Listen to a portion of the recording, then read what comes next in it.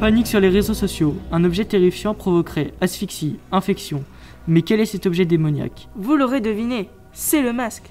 Mais qu'en pensent les élèves du lycée? Nous sommes partis à leur rencontre pour demander leur avis à eux qui le portent du matin au soir. Se sentent-ils asphyxiés? Ont-ils peur de le retirer? Quelle est son utilité? Écoutons leurs réponses.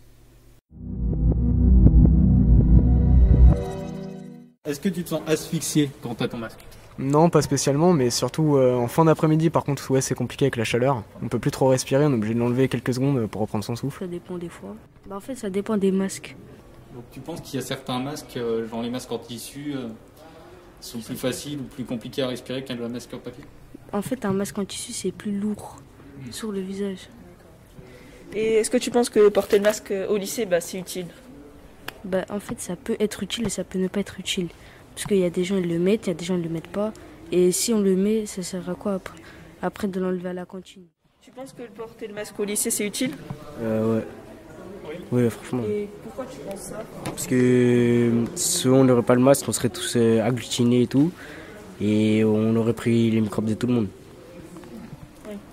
Et est-ce que tu gardes ton masque en dehors du lycée? Euh, ça dépend des endroits. Et tu penses, tu penses prendre un risque euh, au moment où tu l'enlèves euh, dans, les, dans, les, dans la rue ou...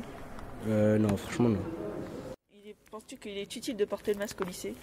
Bah oui, c'est quand même, ça, ça nous protège quand même un minimum, même si c'est pas 100%, mais bon, ça réduit les risques. Mais c'est un peu euh, psychologique aussi.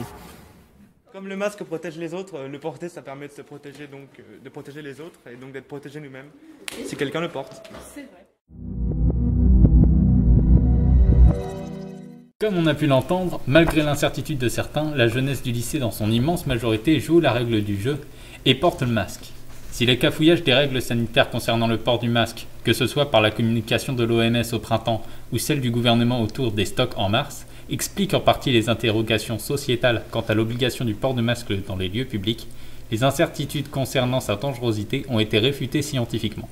Par contre, bien qu'imparfaite, l'efficacité du masque pour filtrer les gouttelettes chargées en particules virales a été démontrée. Voir les sources dans la description.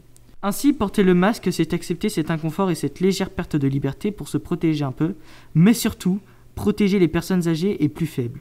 C'est un acte de solidarité, un acte citoyen qui montre que nous sommes dans une civilisation qui se soucie des autres.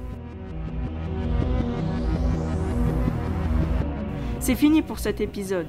Rejoignez-nous les jeudis à 15h en salle A212 pour faire vivre la web radio.